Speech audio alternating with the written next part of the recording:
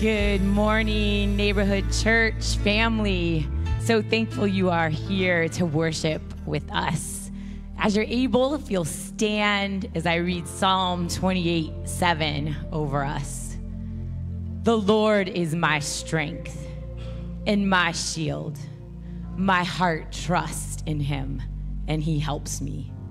My heart leaps for joy, and with my song, I will praise him. So, dear Lord, let it be true that your name will be honored today, Lord.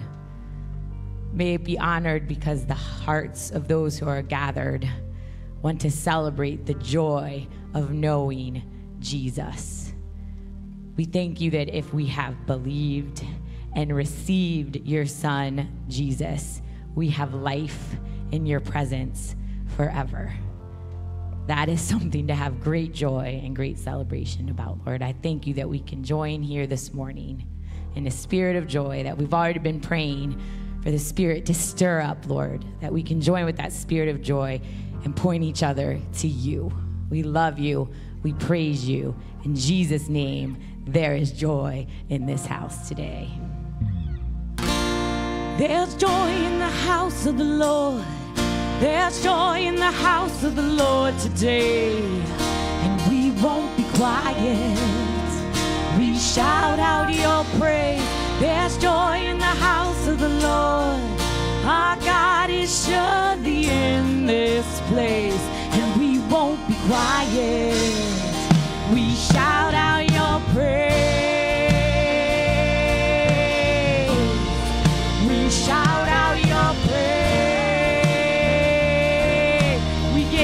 Worship you, Lord. We worship the God who was. We worship the God who is. We worship the God who evermore will be. He opened the prison doors. He parted the raging sea. My God,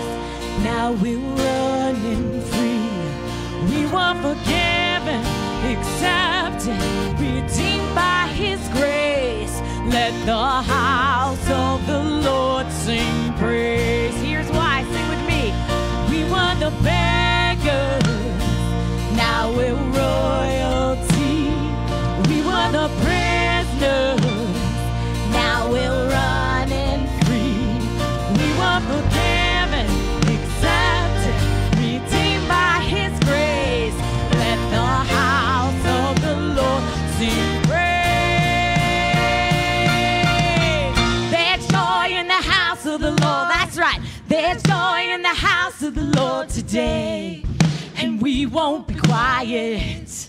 We shout out your praise. There's joy in the house of the Lord. Our God is surely in this place, and we won't be quiet. We shout out your praise.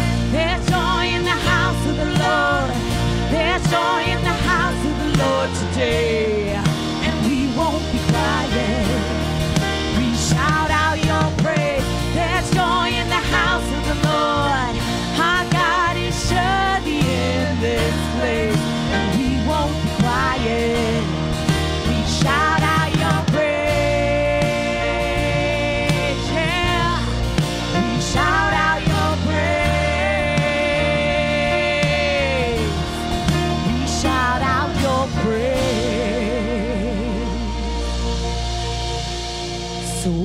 can I keep from singing your praise? How can I ever say enough? How amazing is your love? How can I keep from shouting your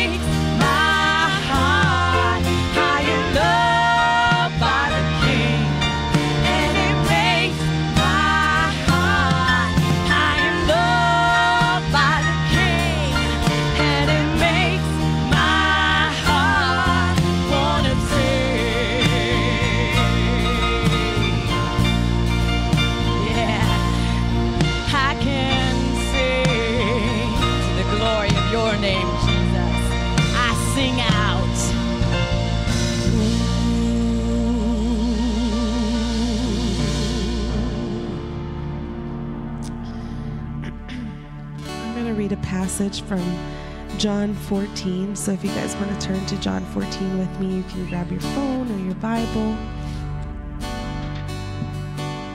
These were some of the last words that Jesus told to his disciples. And he said in uh, verse 14, he said, If you love me, obey my commandments, and I will ask the Father, and he will give you another advocate who will never leave you. He is the Holy Spirit who leads into all truth. The world cannot receive him because it isn't looking for him and doesn't recognize him. But you know him because he lives with you now and later will be in you. No, I will not abandon you as orphans. I will come to you. Soon the world will no longer see me, but you will see me. Since I live, you also will live. When I am raised to life again, you will know that I am in my Father, and you are in me, and I am in you. 21 says, Those who accept my commandments and obey them are the ones who love me. And because they love me, my Father will love them, and I will love them and reveal myself to each of them. We're going to go to 23, and it says, Jesus replied, All who love me will do what I say. My Father will love them and we will come and make our home with each of them. Anyone who doesn't love me will not obey me. And remember, my words are not my own. What I am telling you is from the Father who sent me. I am telling you these things now while I'm still with you. But when the Father sends the advocate as my representative, that is the Holy Spirit, he will teach you everything and will remind you of everything I have told you. 27 says, I am leaving you with a gift peace of mind and heart. And the peace I give is a gift the world cannot give. So don't be troubled or afraid. Remember what I have told you. There's nothing worth more that will ever come close. Nothing can compare. You're our living hope.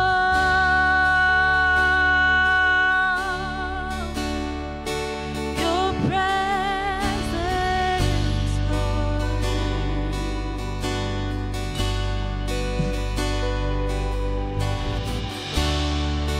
I've tasted of the sweetest of loves when my heart becomes free and my shame is undone.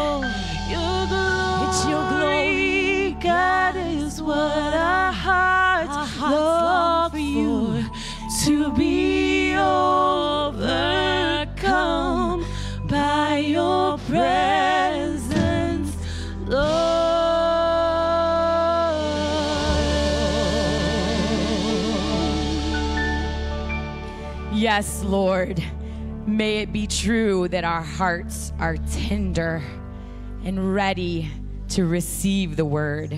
Your spirit is welcome here, and you are here moving among us. So, in this moment right now, keep doing your work. Keep doing your work in the hearts of the believers here, Lord. Tenderize our hearts. Break the chains that keep us from that closeness to you.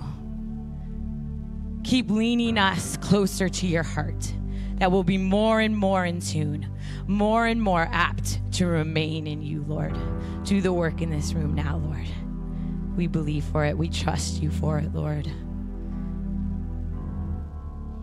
Lord, you are so good. And I love it when Jen reminds us when she prays over us that we stand under a waterfall, under a waterfall of your goodness, of your grace, of your love. May we be experiencing that now, Lord. And because we so deeply know and acknowledge your love, may we be willing, fully willing to participate in your kingdom work and to pour out that love into those around us who need to know you. We love you. We thank you for Neighborhood Church, where we have the beautiful pleasure and privilege of coming together from our different backgrounds, from our different days, from our different nights, from different stress levels, that we can come together with whatever on our heart and mind, and that you can bind them one heart and one mind for the glory of your name when we focus on you. May our eyes be full on your wonderful face. In Jesus' name, amen. You may be seated. And my neighborhood kids, friends, you are dismissed to go have fun downstairs.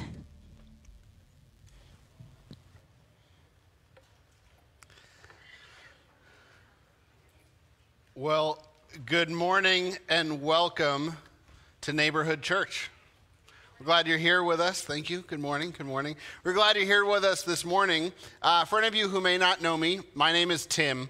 Uh, I'm the director of student ministries here at Neighborhood Church, and uh, I'm sure you've heard this before, and hopefully you've heard it a lot.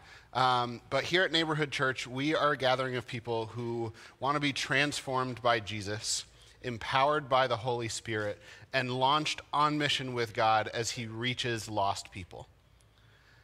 And we have a passion here at Neighborhood Church to see people say yes to Jesus for the first time. And one of the ways that we celebrate this is through these light boxes. You'll see two up here uh, that are lit, and they have names and phrases on them. These are representations of people who are connected with our church who have said yes to Jesus. If you take a look along the walls, you'll see more light boxes that are dark.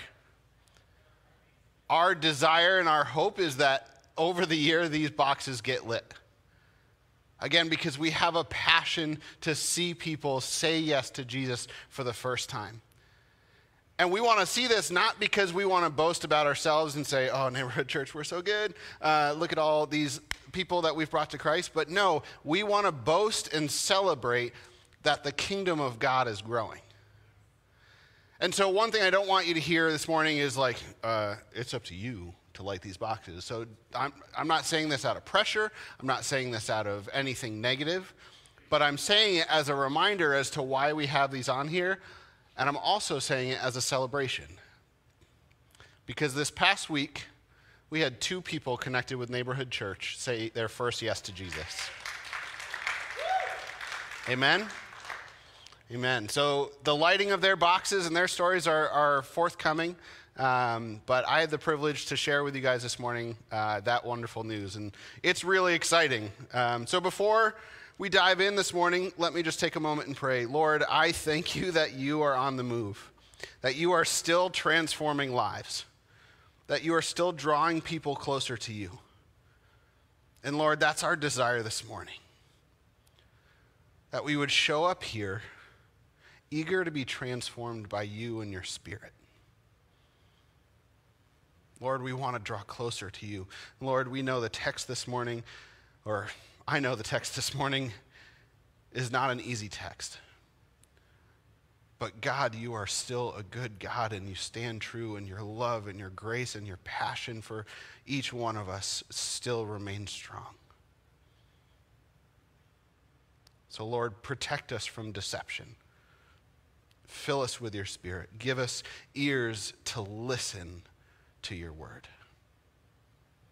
We pray all this in the name of Jesus. Amen. So, this morning we're continuing in our series of First John. Over the past couple weeks, we've started a series uh, where we're looking at the book of First John. Jen kicked it off for us a, a, few weeks ago, and this last week we had an amazing message from uh, Eric Peacock, the wonderful drummer.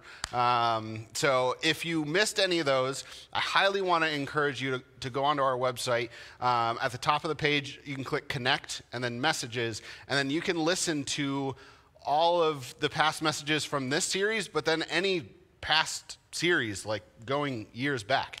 Um, I went on the page uh, earlier this week to just make sure I was telling you the right way to get there.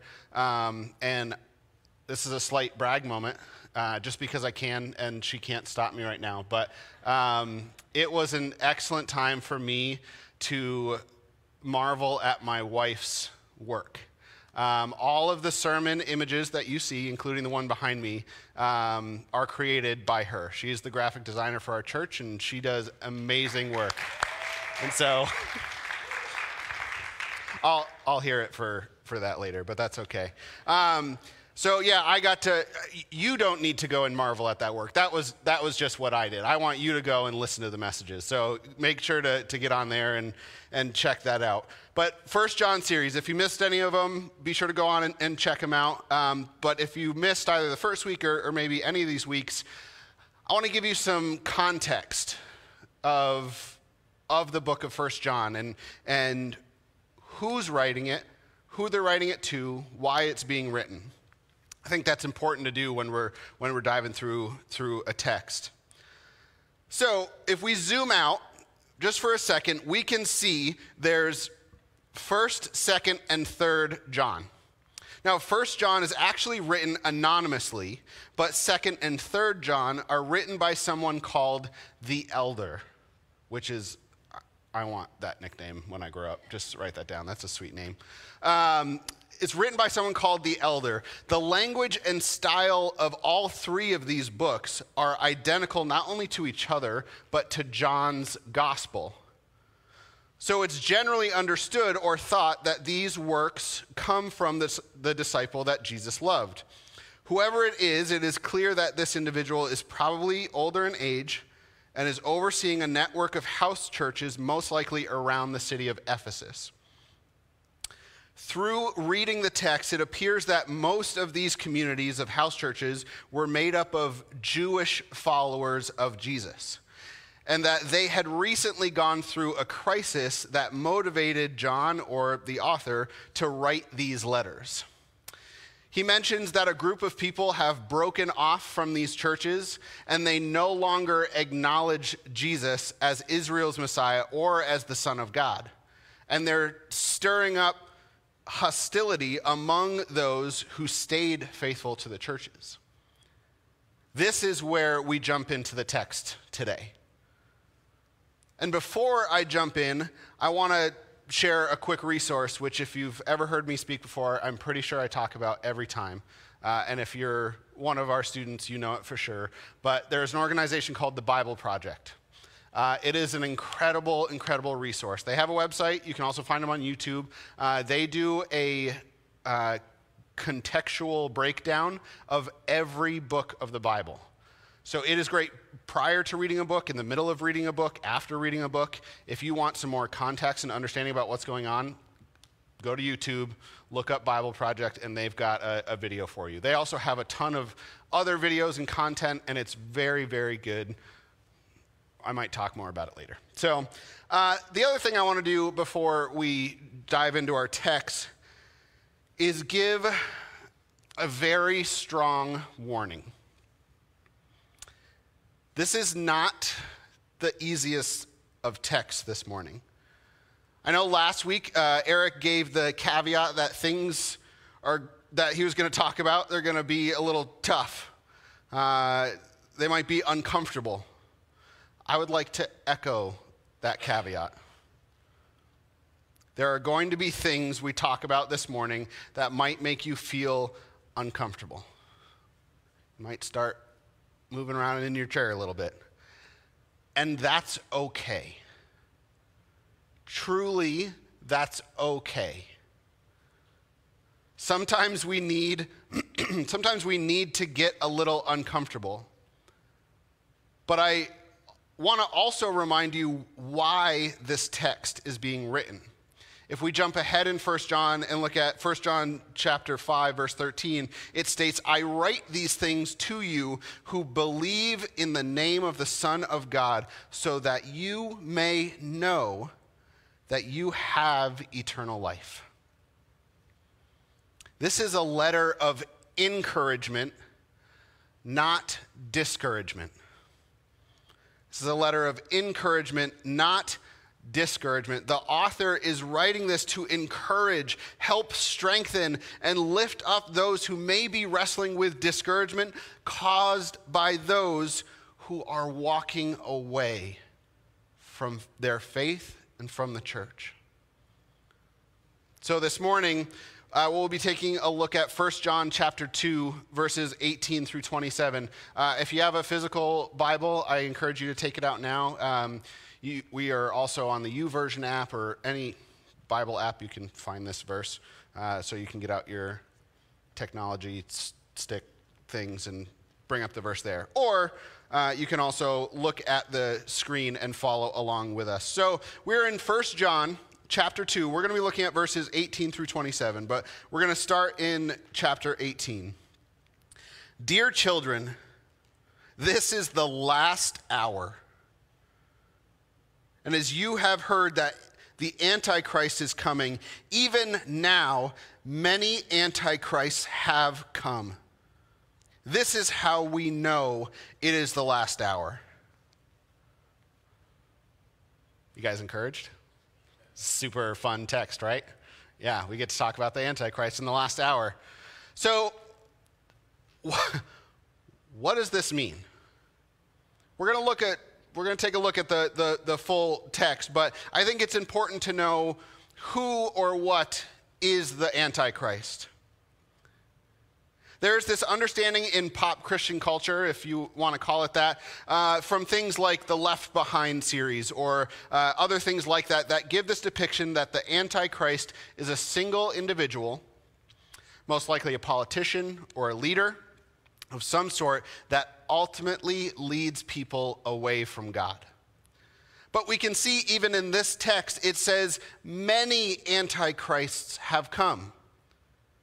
So you see, the antichrist being ref- referenced here is not the same as the end times beings mentioned in Revelation, but instead, truly anyone who spoke against Christ anyone who was anti Christ. One who denies the Father and the Son, which we'll take a look at in just a few verses. This is how we know it is the last hour. To paraphrase the, the Benson commentary, this last hour is an expression used by the early Jewish church to refer to a period of time in which the Lord had foretold the rise of many false Christs. And the author here is warning against those same deceivers. So, as we look at the text this morning, I believe the author is trying to make us aware of a war against deception. There is a war against deception. There is a battle going on, folks. Whether you're privy to it or not, there is a battle going on. And the author of 1 John is trying to bring some light to it. ladies and gentlemen, I don't care if you are two or 102. If you are living a life for Jesus and allowing your life to truly be transformed by Jesus, don't for one second think that that's going to go unnoticed. If you are living your life truly being transformed by God, it will not go unnoticed. And I'm not talking about your family and your friends and your coworkers. They might notice, and that's good. But if you if your life is truly being transformed and shaped by God, it will not go unnoticed by the enemy. Be aware of deception. John, the first part of John 10 10, uh, Jesus says this The thief comes only to steal and kill and destroy. Deception plays a major role in spiritual warfare. Deception plays a major role in spiritual warfare. And the first place we see this is in the garden. Satan came to deceive Eve. How many of you have pets? A few? See a few hands go up. Um, maybe cats, dogs, probably other pets, but let's just stick with cats and dogs for right now. Uh, we have a dog at home. Uh, he's a little annoying at the moment. We're not sure why. He's just scratching at everything and, and won't stop licking, and it's annoying. Um, but we have a dog. His name's Hudson. He's a little guy. Um, don't tell him. He was a little bit of a disappointment for me. I'm a big dog person. My wife is a small dog person. He was supposed to be medium. He is not. He's 19 pounds. He's a little guy. So, uh, but he's got the energy of a big dog. So, um, if if we want to take Hudson on a walk, what do we have to do? We have to put a collar on, hook up a leash, and then we go, right? And that that leash and that collar are there to help guide and, and direct where he can go and where he can't go, because otherwise he might run off, right? Maybe you have a cat, or maybe you don't have a cat. Um, but maybe you've seen this before. Have you ever seen someone pick up a cat in a certain way that when they pick it up, it just goes stiff? It's like, well, this is happening. There's nothing I can do, right? How are they picking it up? It's by the extra skin or fur that's like at the back of the neck, right? Back shoulders, back of the neck, that general area, right? How many of you like snakes? We've got one, maybe. Um,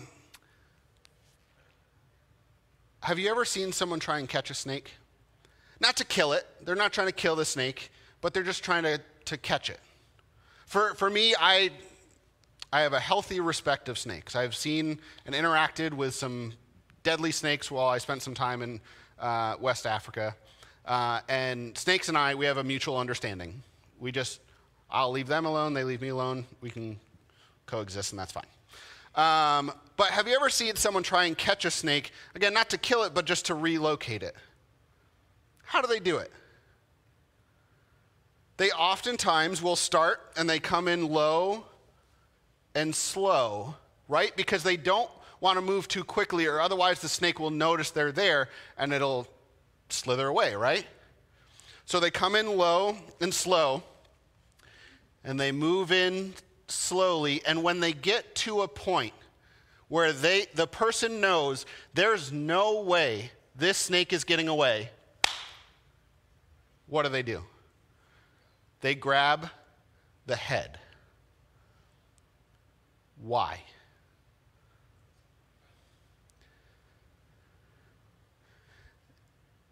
They grab the head.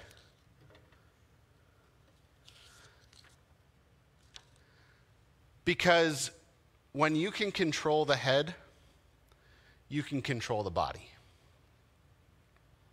Where the head goes, the body goes as well. So if I'm walking our dog and I'm, I'm trying to walk Hudson, I put the collar around his neck, not his tail, right?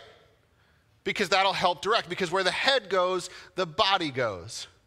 So if you want to grab a snake, you don't grab it by the tail because it's going to whip right back up around and it's going to bite you. So you grab the head so you can control where it goes. If you control the head, you control the body, and the enemy knows this. 1 Peter 5 8 states, Be alert and of sober mind. Your enemy, the devil, prowls around like a roaring lion looking for someone to devour. One of the enemy's greatest weapons is deception. One of the first things he goes for is the mind because he knows if he can control the head, he's got a pretty good shot at controlling all of you. What did he do in the garden? He came to Eve with deception, attacking the mind, planting doubts and false understandings. Deception plays a major role in spiritual warfare. This is why we read in Ephesians 6:11, "Put on the full armor of God so that you can take your stand against the devil's schemes." We continue reading in 1 John chapter 2. Dear children, this is the last hour, and as you have heard that the Antichrist is coming, even now many Antichrists have come. This is how we know it is the last hour. They went out from us, but they did not really belong to us. For if they had belonged to us, they would have remained with us but their going showed that none of them belonged to us. They went out from us, but they did not really belong to us. This is not saying if you leave neighborhood church and move that you are no longer a Christian. Just caveat, okay? If you move somewhere else, you're still you can still follow Christ. They went out from us, but they did not really belong to us. The author here is speaking in this context to these people of what he knows to be true about them. But part of the implication is they have walked away from God. Deception reveals those who are not saved. Deception reveals those who are not saved. I have to say, this is the most heartbreaking part of this passage. Some of us may know people personally or even know of stories of people who have walked away from their faith. Now, there are many reasons that this could have happened, and I'm not standing up here to cast judgment in any form. But I know that this is a heart heartbreaking place to be and a heartbreaking place to watch happen. And sometimes people have had legitimately hard things that they have wrestled through, but just unfortunately couldn't make it. And unfortunately, for some people, sometimes things just got hard. Things just got uncomfortable. They fell to the deception that f- following Jesus is always and only good. Now, when we see someone walk away from their faith, it begs to ask the question was their faith true to begin with? I am not standing here to answer that it poses a question. You have heard it said that God is good, right? Right? Okay. If you haven't, God is good. Okay? All right. You have heard it said that God is good, right? And he can only be good. Have you heard that? He can only be good, right? So if God is good and he can only be good, then following him must mean that nothing bad can ever happen to me ever again, right? If you have followed Christ for anything over 20 minutes, you know that that statement is not correct. Anything under 20 minutes, it might still be true. Um, did you notice the truth in the statement? That God is good. And He can only be good. There is just enough truth to draw you in, finished with just enough lie to send you down the wrong path. Be aware of deception. It is easy to follow Jesus when things are easy, but when the going gets tough, where are you? Take a look at marriage, if you will. This concept would not work in a marriage. I'm here as long as everything is good, but if things start getting difficult or you start acting differently, I'm out. That's crazy, right? That's not a marriage. That's barely a friendship. It's not, not a good friendship. Don't hear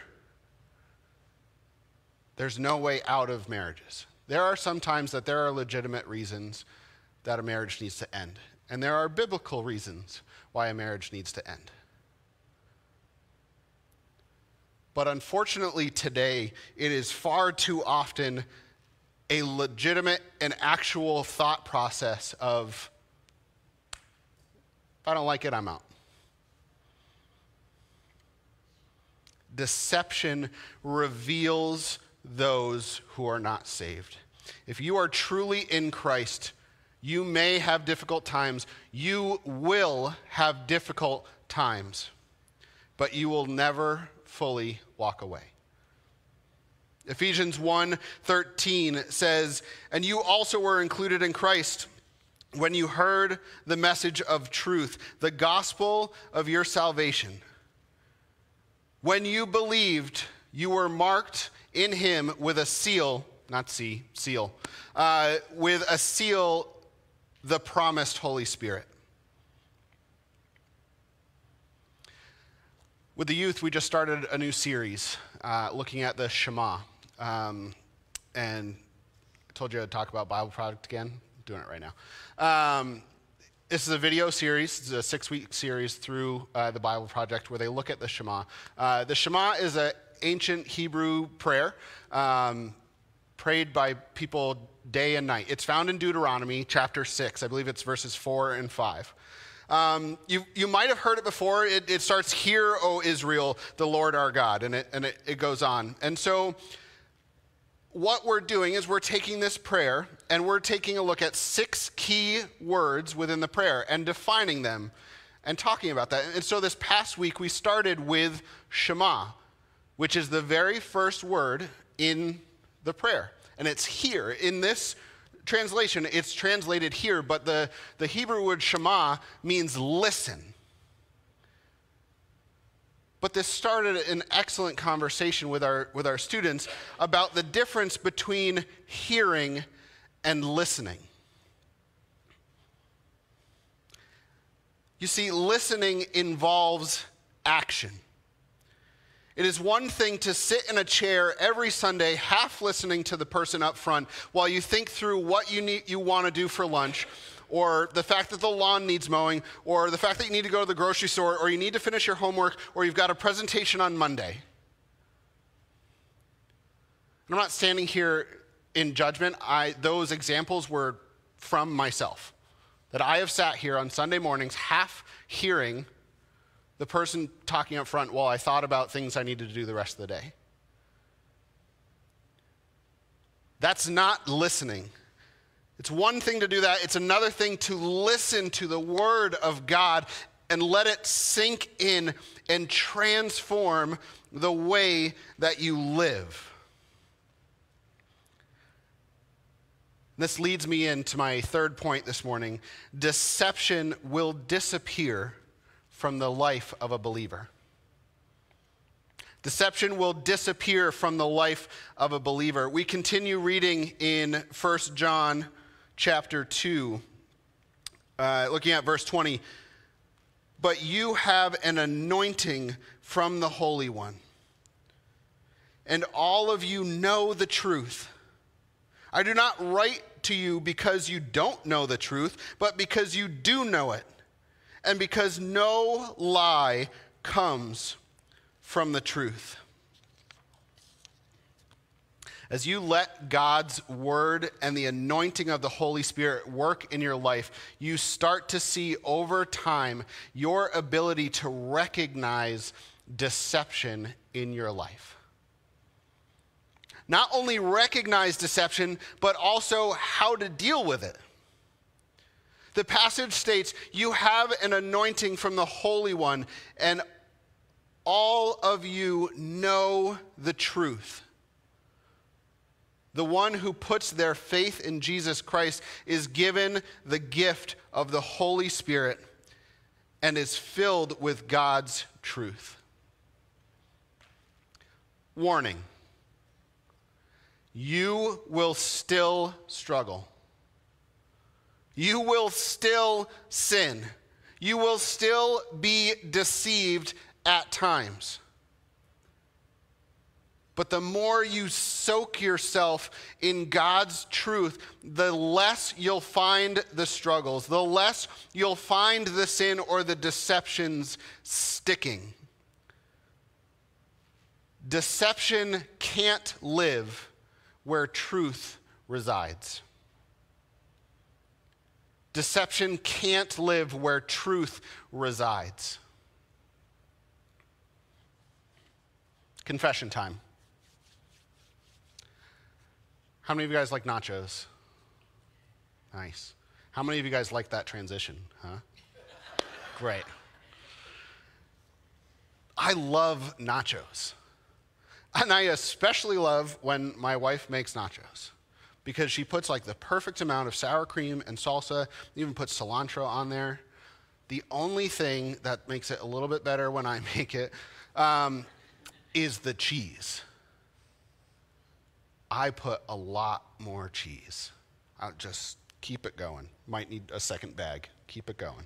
See, I like nachos when you go to grab one chip, you get six. That, those are some good nachos, right?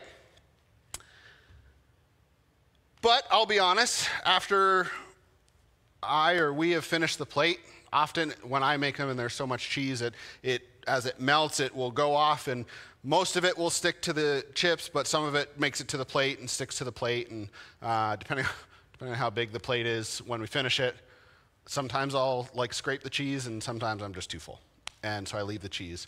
Uh, and I mean, I just ate a plate of nachos, so I'm not about to get up and do dishes. Um, so I'll go and I'll set the plate down, and I'll, you know, I'll wash it in the morning or the next morning. Probably, probably the morning after that. I'll, I'll wash it. See, at, by that time, that cheese that had melted on the plate is caked on there. You, like, you take a fork and you're trying to scrape it off and hope you don't scrape the plate, right? But see, I found a good trick on how to get that cheese off easier. If you let it soak for a little bit, eh, put some soap in there, let it soak for a little bit, and then after a little while, you come and you blast it with scalding hot water. That cheese slides right off. Right? You can write that down, put it in your pocket for later. Why am I talking about nachos? God's truth is like the scalding hot water. Sometimes deception and lies stick to us like that cheese to the plate. And sometimes they're things we tell ourselves. Sometimes they're things we've heard from other people. Sometimes they're just lies that came out of nowhere. But we let them stick to us. And some have been there long enough that they feel like they're a part of the original design. But if we soak ourselves in God's truth, that which is not of him washes away.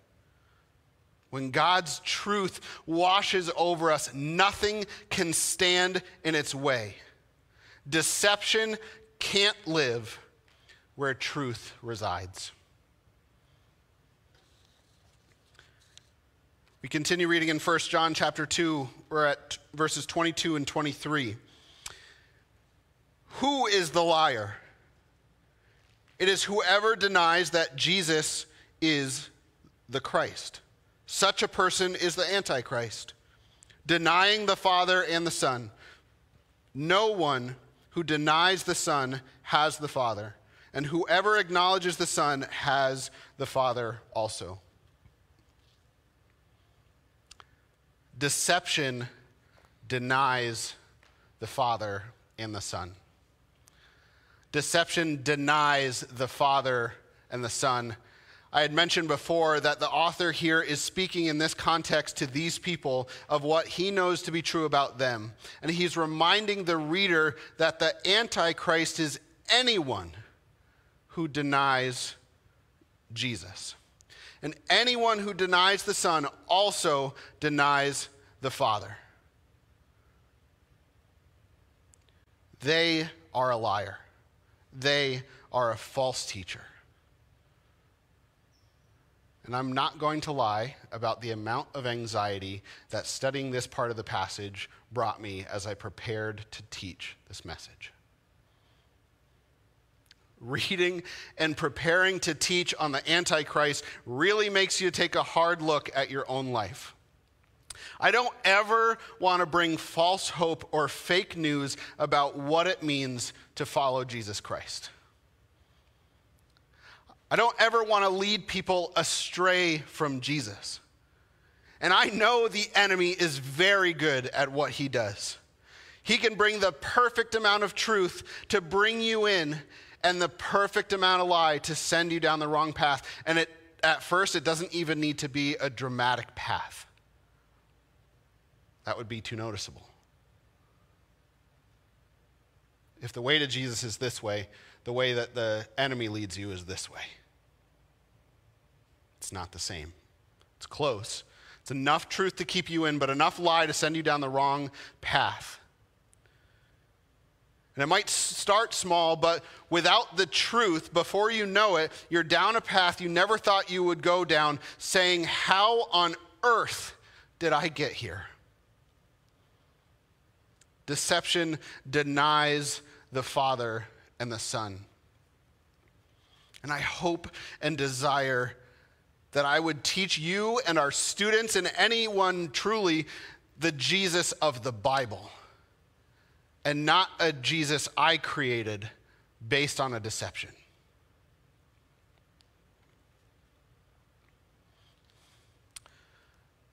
We continue on in, in 1 John chapter 2, 24 and 25. As for you, see that what you have heard from the beginning remains in you. If it does, you also will remain in the Son and in the Father.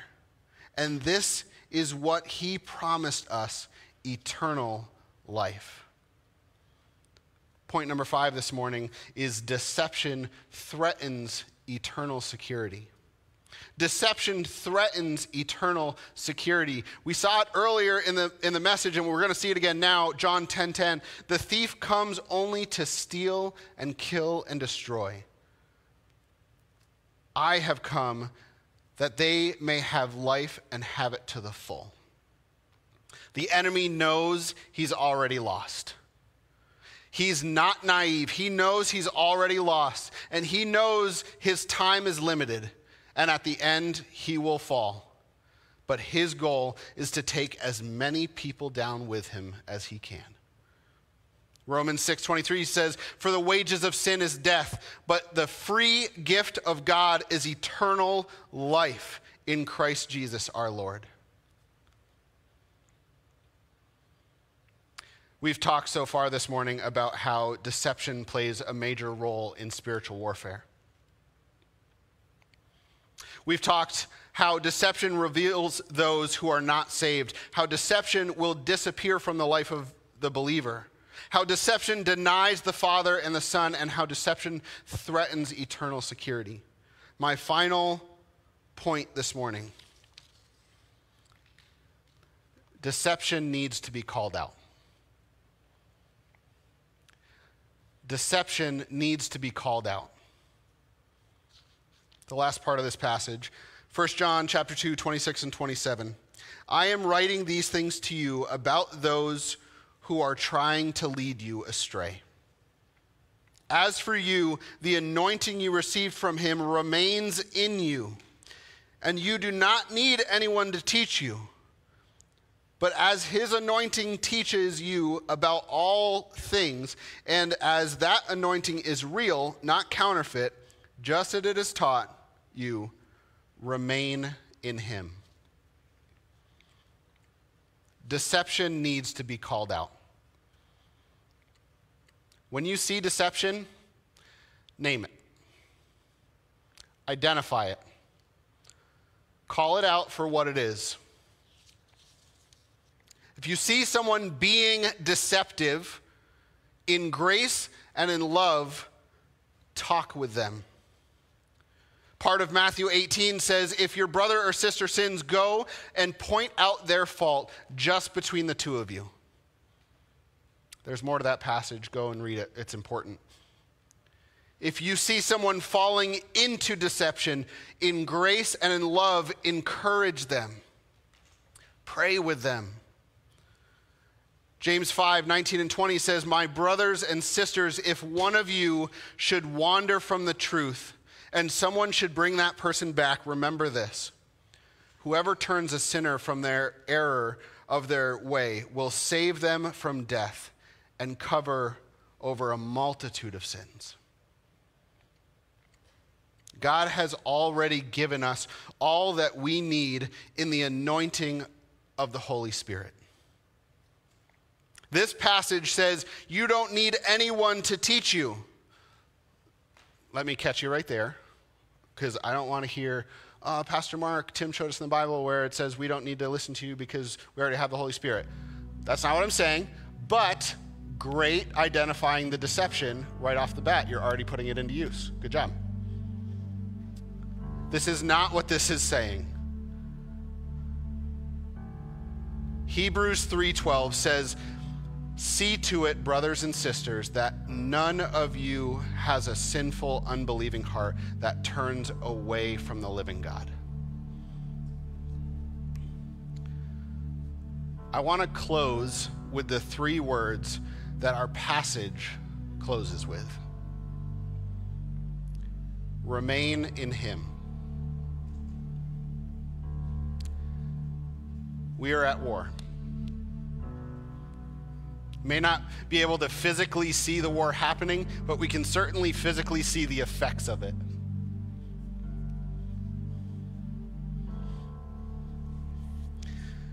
Tauren Wells has a, a song, and the chorus says, On the mountains I will bow my life to the one who set me there.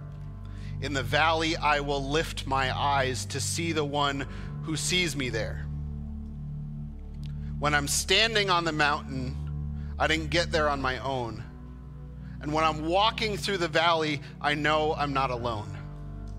You're the God of the hills and the valleys.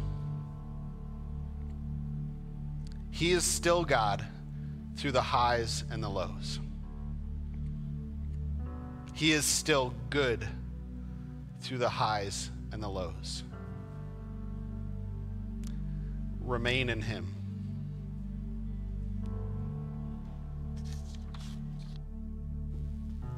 Yes, Lord. Prone to wander, Lord, I feel it.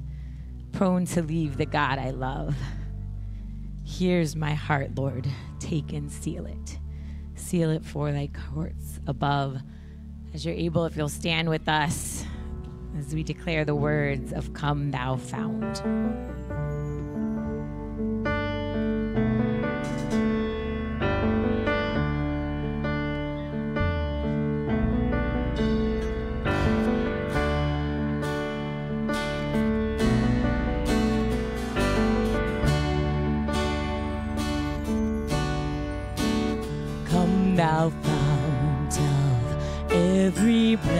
the scene. Tune my heart to sing thy grace. Streams of mercy never ceasing. Call for songs of loudest praise. Teach me some melodious sonnet sung by flame.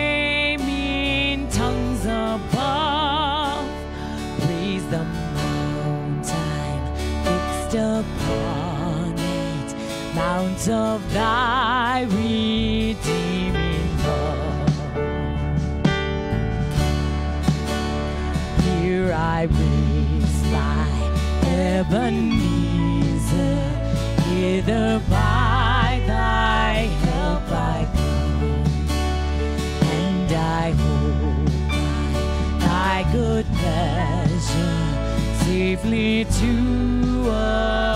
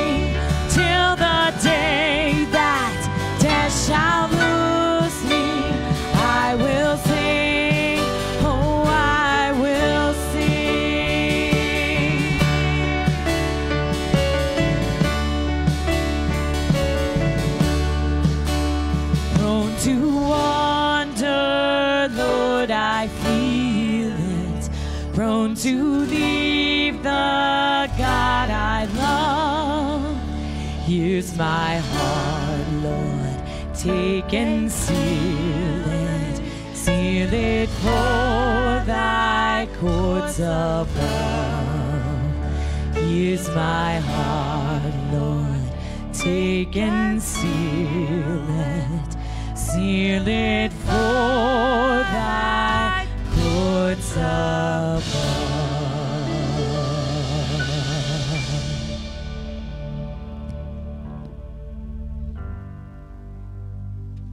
Please pray with me. Dear Heavenly Father, we are so grateful for your word and we know that your word contains truth that comes only from you.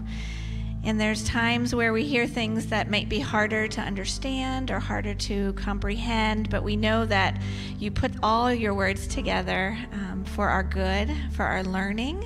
And we thank you for the teaching this morning from your word and for the reminder that through all the things that may come our way, the good, the bad, the tryings, the trials that we are encouraged to remain in you. And Lord, as we grow and as we uh, are transformed by you, we just pray for opportunities to share that love that you give us with others. We pray for um, more light boxes to be um, lit in the coming months here at Neighborhood Church, and we pray that we can be instruments of shedding your love to others in our neighborhoods, in our communities, in our places of work, and, and outside. Thank you, Lord, for this time of worship, and we honor and praise you in Jesus' name. Amen. Please have a seat for a few quick announcements. Uh, my name is Pam Homan. Thank you for joining us today at Neighborhood Church, where we are a people and a place being transformed by Jesus, empowered by His Holy Spirit, and launched on mission. There are connect cards and prayer cards in the seat backs in front of you, and also online. Once those are completed, you can fill them or put them in the in the box on your way out. If this is uh, your first time with us, you're newer to our community and live locally, we'd like to ask you to put your contact information uh, on one of those cards, and we'll send you a gift this week as a thank you for joining us. Another way to connect is through our e newsletter. So go to our website, neighborhoodc.org, to subscribe. Thank you as well for your generous giving. And that can also go in the box on your way out or also done online in one of the ways that you see on the screen. The Durwood Farmers Market is up and running and will run every Saturday from 9 to 1 through September 3rd. This is a major way that we can work together to show the love of Jesus in our community. Um, one, there are for next week. There are two slots still needed to help with traffic during both shifts. Um, the main task there is to help pedestrians cross the street. You can see our website and sign up to fill one of those slots or others in the coming weeks ahead. I was uh, fortunate enough to serve at the farmers market a couple weeks ago and just wanted to share with you that I had a really uh, wonderful time having a conversation with somebody that was in attendance. And you just never know what, what the Lord might bring or who the Lord might bring to have a conversation with you. And I realized afterwards, you know, this is probably one of the easiest places to share Jesus as we're just standing right outside of a church building. And some of the times the conversation comes up naturally. So I want to encourage you to use those opportunities opportunities um, to serve. We're getting ready to recognize all high school and college graduates on June 5th, and we don't want to miss anyone. So if there is a graduate in your household, please send that information to the church office with a name, degree, and a picture. Parents, you have until 11:45 to pick up your kids. Um, thank you. It was so great to be together, and we look forward to seeing you again. Have a great week.